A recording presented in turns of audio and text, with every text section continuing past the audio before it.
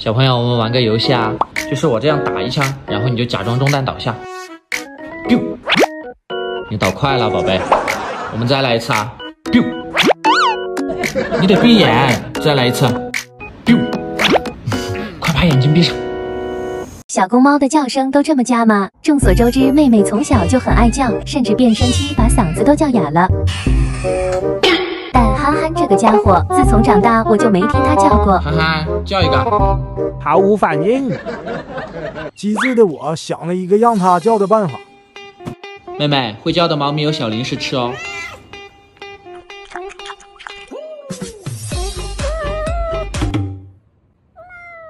不是，你声音怎么这么假呀？你再叫一声呢？这是一条求助视频，妹妹一晃也快成年了，我就想着给她找个对象。正好朋友说看到一只和妹妹小时候一样可爱的公猫，于是我连夜去接回了家。妹妹，这是你对象哦。嗯。现在问题是，它的确挺可爱，但尺寸好像小了一些。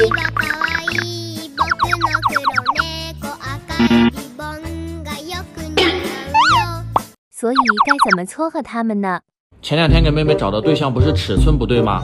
后面我一想，妹妹可以等她长大。现在最重要的是培养他俩的感情。妹妹，你这样会吓着别人。其实妹妹对这个小家伙挺有好感的，就是不咋会表达。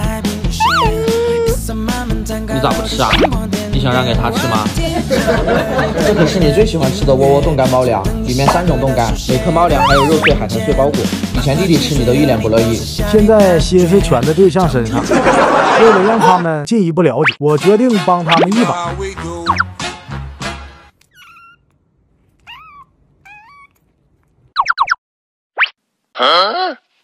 不是你干了些啥呀？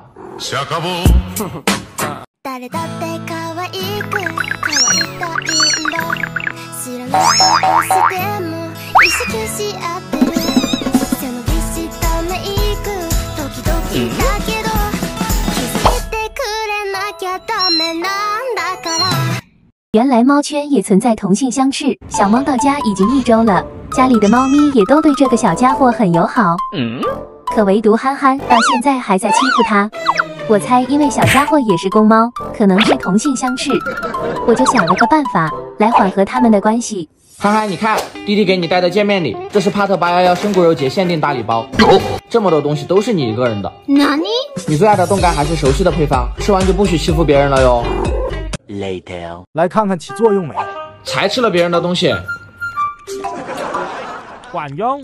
因为憨憨小时候老是被妹妹打，被妹妹打，被妹妹打。最近终于来了个比他小的，他也终于体验到了欺负小奶猫的快乐。